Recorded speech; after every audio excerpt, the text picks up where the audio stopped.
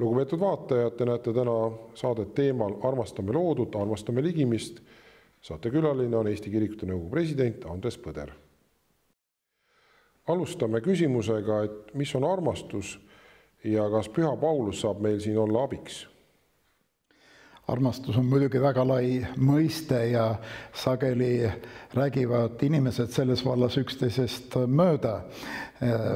Eestikeelse sõna armastus vastena leiame piiblist õige mitu mõistet ja vastupidi, nendel piibli algkeele mõistetel on äh, eestikeelses piiblis omakorda jällegi terve rida teisi sõnu vastetena antud. nii et küsimus sellest, kuidas armastust lühidalt äh, ära defineerida, on äh, üks Nobeli auhinna küsimus ja ometi sellest definitsioonist sõltub väga palju inimese käitumises, mõtlemises. kui me nüüd võtame piibliraamatu, siis me leiame, et tegelikult on äh, kirjeldatud päris konkreetselt seda, mida pühakiri mõistab armastuse all, mis on kristlik armastus ja üks ilusamaid kohti tõepoolest on Apostel Pauluselt, äh, tema äh, esimeses korintlastele saadetud kirjas on äh, niisugune lõik, mis meie piiblites kannab pealkirja armastuse ülemlaul. ja kui vaadata seda, mil moel ta siin kirjeldab armastust, siis siin on loetletud terve rida konkreetseid äh, käitumisviise, hoiakuid, äh, suhtumisi, mida siis inimene, kes väidab, et ma armastan, või tahab vähemalt äh, uskuda, et armastab nii, nagu pühakiri seda meilt ootab, äh, peaks järgima. armastus on pika meelega, armastus hellitab, ta ei ole kade, armastus ei kelgi ega hoople, ta ei käitu näotult, ta ei otsi omakasu, ta ei ärritu, ta ei jäta meelde paha. Ta ei ole, ta, tal ei ole rõõmu ülekohtust, aga ta rõõmustab tõe üle. ja nii edasi. Kui ma omal ajal andsin leeritunde õpilastele ja rääkisin abielust, kus laulatustootuse puhul küsitad, küsitakse, et kas sa tahad seda oma abikaasat muutumatu ja murdumatut ruudusega armastada Äh, siis ma ikka viitasin äh, sellele kirjakohale, äh, et kas te teate, et kui te seda ütlete, ma armastan, et mida te kõik peate nüüd silmas pidama.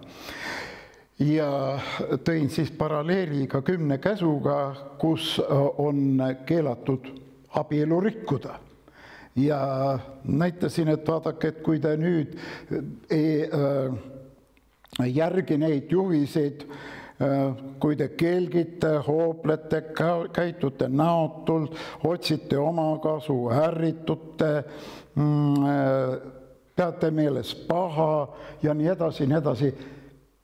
Juba siis olete abielu rikkunud, et nendest väikestest asjadest tegelikult algavadki need konfliktid, mis meie osadust lõhuvad. nii et me võime olla äh, Apostel Paulusele väga tänulikud, et ta on meile kirjeldanud selle armastuse mõiste sisu ja teistpidi muidugi Jumalale, kes on armastus, kes meid on ennem armastanud ja kelle juurde me alati palves ja usus tohime minna, et ka saada jõudu nõnda armastada, nagu seda pühakiri äh, meile soovitab. või veel enam, äh, muidugi äh, tähendab see siis ka kogu kristlikku elu, Jeesuse järgimist.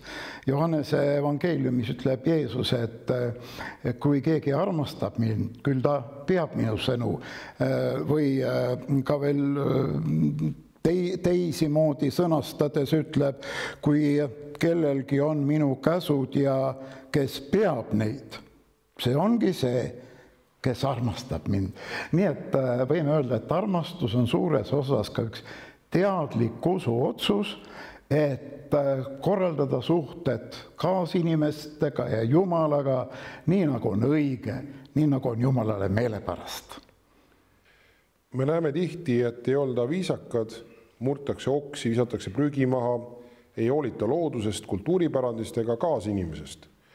mida saavad siin teha lapsevanemad, kool ja kirik?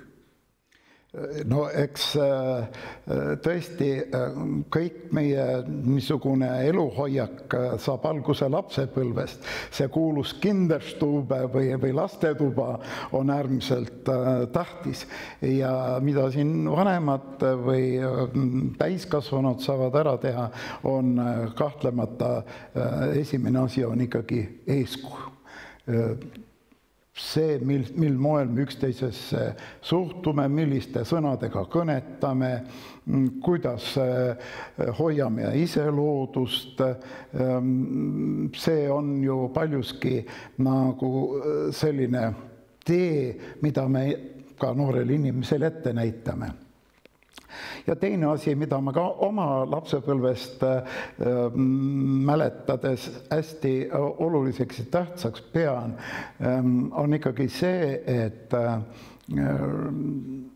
laps leiaks nagu sellist isiklikku suhet ka äh, elusa loodusega väljaspool ennast.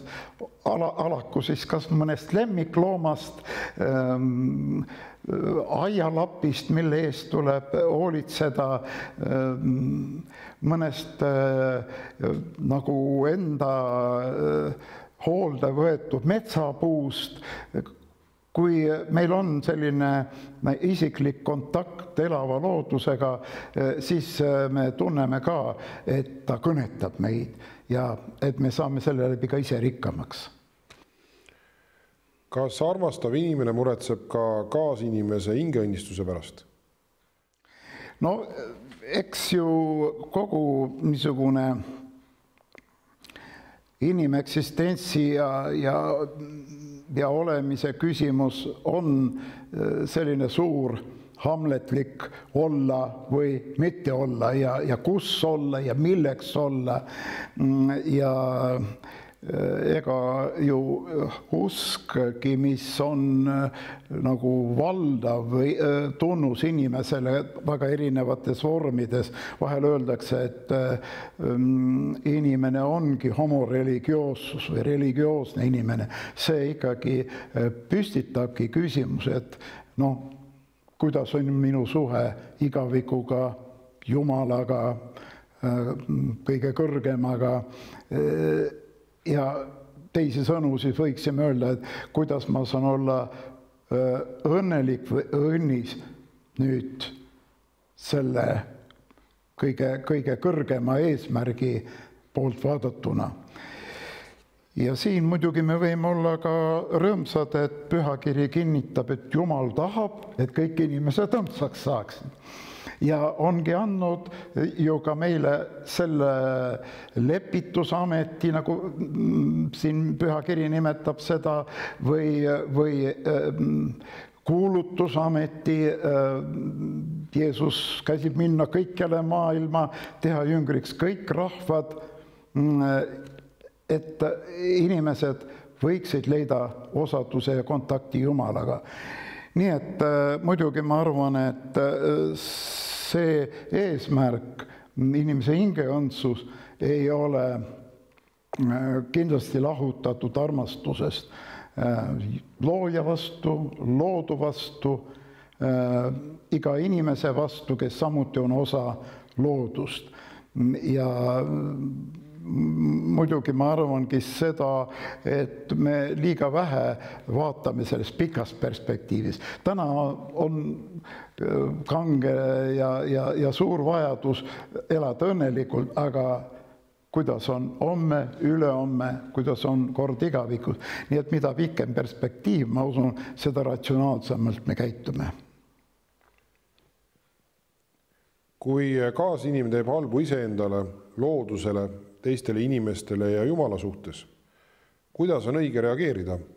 kas tõde koos armastusega? Johannese evangeeliumi alguses, kus räägitakse logosest või, või sõna lihaks saamisest, Kristuse sünnist, seal öeldakse ka, et arm ja tõde on ilmunud Jeesuses Kristuses. Need on nagu ühe medali kaks poolt. arm, võime sinna juurde siis laiendada armastus, halastus, andeksandmine, aga kõik see toimub ka selle taustal, et, et me peame silmas tõde. Jeesus ütleb, mina olen tee ja tõde ja elu, et ükski ei saa muidu äh, isa juurde, kui, kui läbi seda või mööda seda teed. ja, ja selles mõttes äh, armastus ei saa olla nagu ka kõikelubav, et tee mis kurja iganes, valeta, mm, parasta, äh, sest no ma armastan sind ja, ja pean nagu leppima kõige sellega, mis sa teed et äh, siis me tegelikult ei armasta. me peame kogu aeg seda tõelaternat ikkagi ülal hoidma. Äh, aga see tõelatern peab olema äh, nagu süüdatud armastusest. muidu ta võib ise selliseks tõega lajatamiseks ja kurjuse tööriistaks muutuda esimeseks looduskaitse näiteks Vanas Testamendis on lugu sellest, kuidas, kuidas Jumal andis Aadamale, Eevale ülesande Eedeni-aeda hoida ja harida. kas meil on veel näiteid looduse väärtustamise kohta Vanas Testamendis ja Uues Testamendis ning kas hilisantiigi ajal elanud kirikuisad on ka midagi selle kohta öelnud? no võime ütelda, et loodu väärtustamine hakkab peale juba piibli esimeses peatükis, kui Jumal loob taeva ja maa ja kõik, mis seal on, ja siis ta vaatab niimoodi iga päeva lõpus ja ütleb, et ja Jumal vaatas, mis ta oli teinud ja see oli hea. nii et Jumala hinnang sellele, mis meid ümbritseb, mis meile antud on, mis loodud on, see kvalifitseerib selle väärtuslikkus ja, ja heaks. ja muidugi äh, äh, kui me vaatame piibliraamatus edasi, seal on terve hulk erinevate nüansside alt kohti, mis äh, näitavad meile seda õiget suhtumist loodusse või loodusesse, alu-, alustades kas või sellest Eedeni aialoost, Äh, kus on öeldud, et Jumal pani inimese Eedeni aeda harima ja hoidma.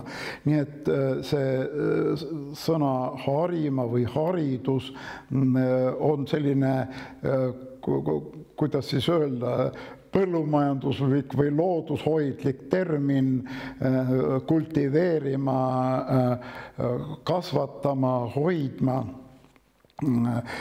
mis tähendab ikkagi pigem noh, mitte ainult looduse kulul elamist, vaid ka vaatamist ja vastutamist, et see, see aed, milles me elame, et see kasvaks, õitseks, püsiks no sama mõtte juurde tuleb ka tegelikult noalaeva lugu, kui äh, veeuputuse käigus äh, Jumal mm, siis äh, laseb noal laeva võtta kõigist elusolenditest ühe paari ja siit me võime ka nagu lugeda välja, järeldada, et Jumala tahe on elurikkuse hoidmine.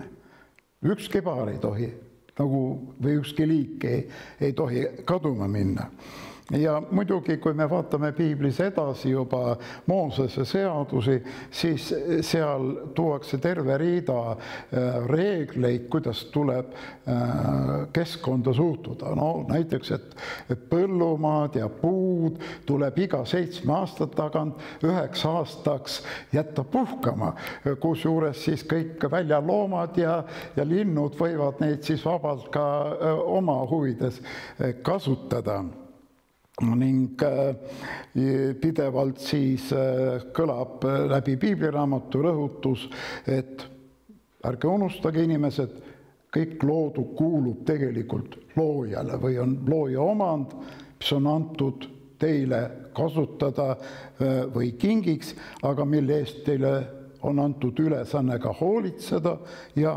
vastutada. nii et selline võiks öelda üldpilt lühidalt, aga ma tahaksin siin veel juhtida tähelepanu ühele ilusale raamatule, mis me andsime siis välja eelmise aasta jõuludeks Eesti Kirikute Nõukogu poolt, armastame loodut või S-iga loodust. Ja siin lõpus on koostatud üks väga tore tabel, kes tunneb huvi mitu lehekülge pealkirja all keskkonnaeetika põhimõtted piiblis. ja siin on loetletud üles siis väga palju kirjakohti erineva niisuguse hoiakuga, tähendusega, kuidas loodust kasutada, õigesti kasutada, hoida ja selle eest ka vastutada, nii et kes tunneb huvi nende piiblikirja kohtade vastu, otsige see raamat üles. ja viimane küsimus. kas Euroopa rohepööre võiks arvestada ka kirikute katustega? kas kirikute katuste jaoks võiks disainida läbipaistvad katusekivid, mis oleksid ühtlasi ka päikesepaneelid ja mida muinsuskaitse lubaks ja millega kirikukatuste välimus väliselt üldse ei muutuks?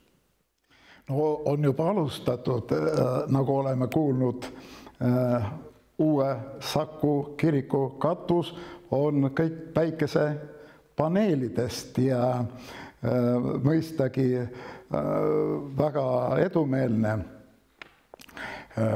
loomulikult vanakirikute ehitamise printsiip oli ka hästi looduslahene kirik tuleb ehitada sellest materjalist, mis koha peal on käepärast, mida on kõige rohkem saada, kus mäed, kaljud, kivid, seal kivikirikud, kus suured laaned, metsad, puukirikud ja mõistagi see, et äh, kirik äh, juba kogu oma arhitektuuriga äh, võiks kuuluda sellesse loodushoiuprogrammi,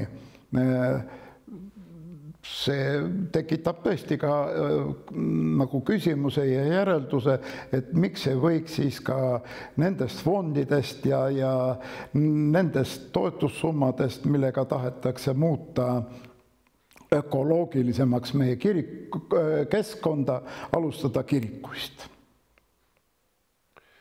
nii, suur tänu väga huvitava vestluse eest! aitäh ja õnnistust kõigile nii looduse kui kaasinimese hoidmisel ja armastamisel. lugupeetud vaatajad, te nägite saadet Armastame loodut, armastame ligimest. saate külaline oli Eesti Kirikute Nõukogu president Andres Põder. aitäh! aitäh, et vaatasite meid